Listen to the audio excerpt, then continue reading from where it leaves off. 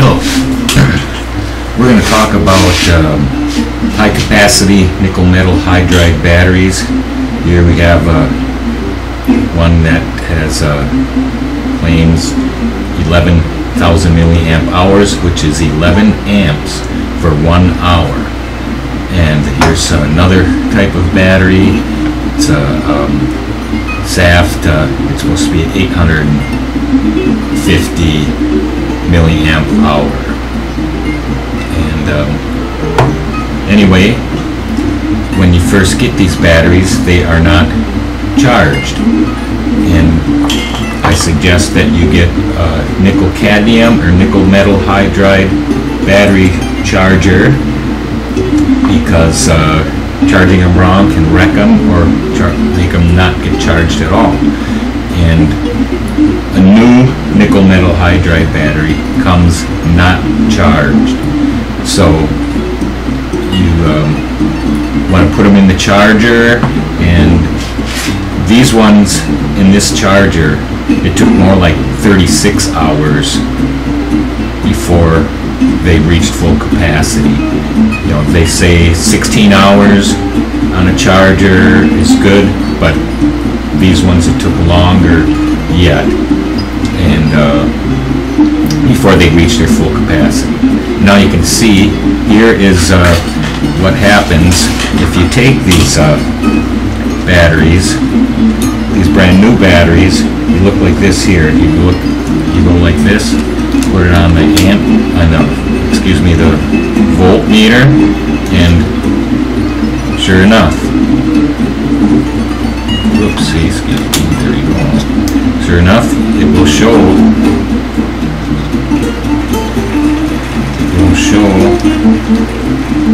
oh, only 0.7. I thought for sure it would have showed 14, 1.4 that shows 1.2 but they're totally uncharged.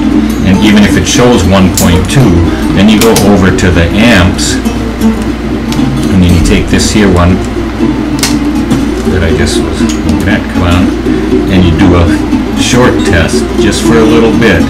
You take uh, through this uh, that's an amp meter probe and then you go like this here and you look at it and it really does nothing. It's totally dead. So then you stick these here batteries in the charger and like I said you get 36 hours which I did with this one and then after I charged this one then I got it full charged and then I took that and ran it in the amp tester like this here.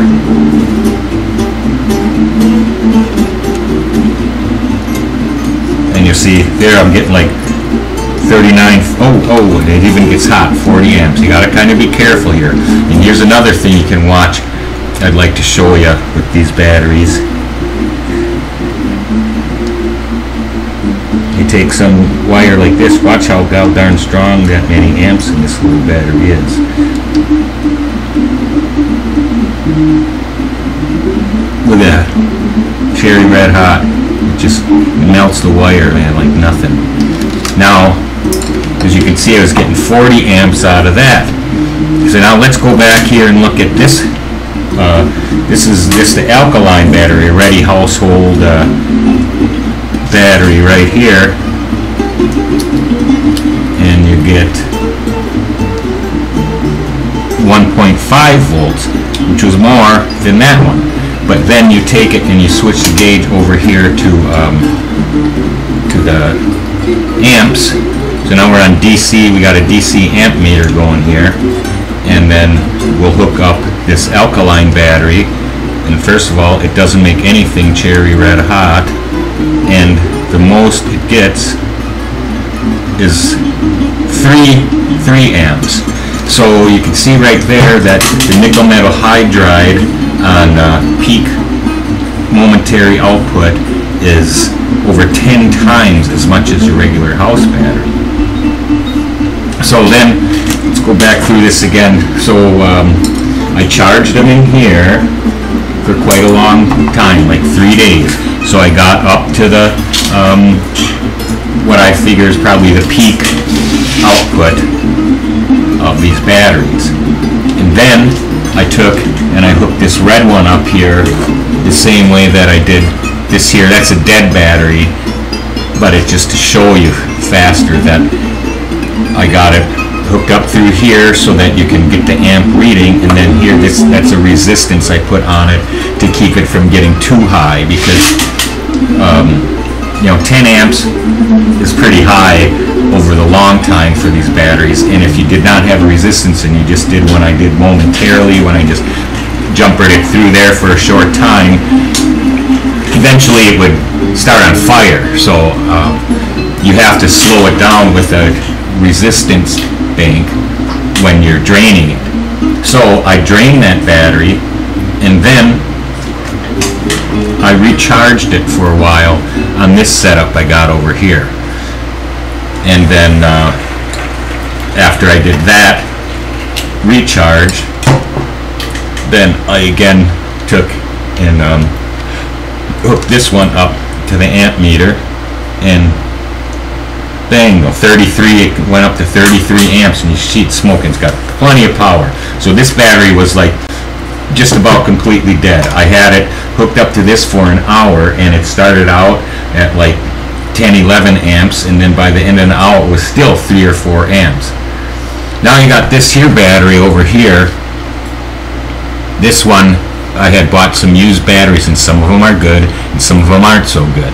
And this one when I initially tested it with the um, by shorting it out momentarily just to get it, its output in amps that um, it wasn't really doing very very much so uh, now we're doing it again and you'll see even when I'm charging it here it's only accepting uh, 0.6 amps at 1.5 volts now we'll take a better one of these batteries to show you the difference.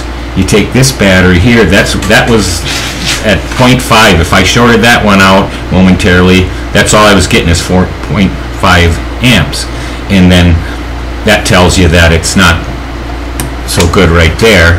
And then also you seen it was 0.3 or something like that on there. Now this one isn't the best battery in the world, but it's still it's doing 16 amps when I shorted it out. And now when you put it on here, you can see that it's getting like way over double so it's got less resistance and it's able to pick up some amps into charge. See so that one you know like you, you can see that one's getting 8.6 at 1.5 volts and then this one is getting 0.3 so that's like it's over 10 times as much amps at the same voltage. So the resistance in this battery is so much that it can't take a charge. And then if you go over here to the amps and try and uh, get something out of it, it's got See, I'm, I'm almost getting one amp out of it after charging it like all day, and that's it. And then um, uh, if you take this, the other one. Oh, okay, what I really want to say is that I'm going to switch over to volts. And even if, even if that battery has no output, it can't put out any, hardly any amps, like it's shot, but then you show the voltage here, you look at the voltage, and it's got 1.4 volts and it just won't take a charge. So that means it, the internal resistance in it is so great that you can't really do anything with it. It's no good. And um, that is how to test batteries is uh, you get a, a variable power supply like this a bench supply they call it. And then you can um, charge them individually at different voltages. And then you get your um, meter.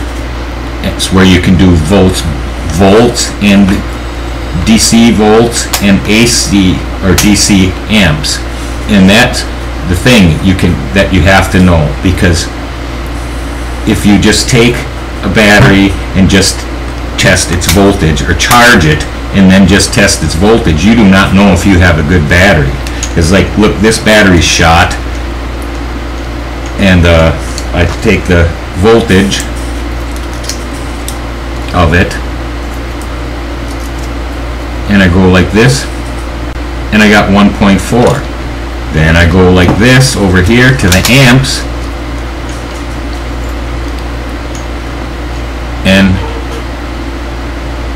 I get like maybe, you know, it's actually doing like 2 amps now after I was charging it and putzing with it. But 2 amps is nothing compared to that. Look at here, we'll take this here one, one of the good ones that I got used from the guy making this video for. That one's got 63.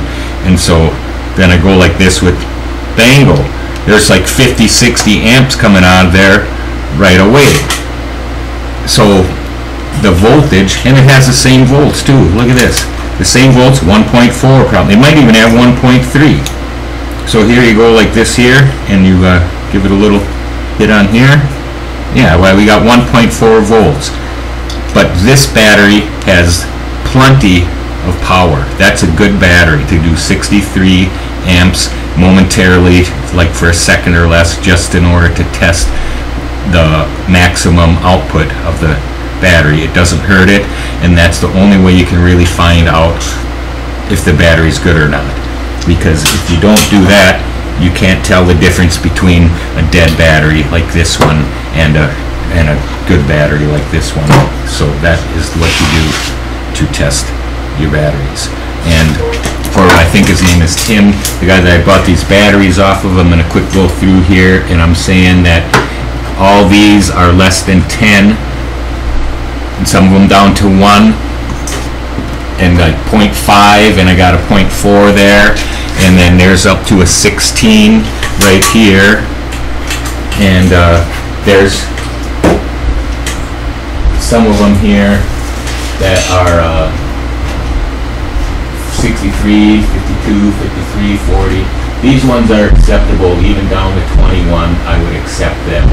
But, and these are in the 12 and, uh, you know, low 10s and 9s. And so what I'm saying is out of the batteries that you sold me, out of 30 of them, there's 30 of them here, and there's one, two, three, four, five, six, seven, eight, nine, maybe 10 that I would accept out of 30, and the rest of them I would like to send back or get refund or whatever you want to do. So anyway, that is uh, what I got on uh, charging and testing high capacity nickel metal hydride batteries. So have a good day.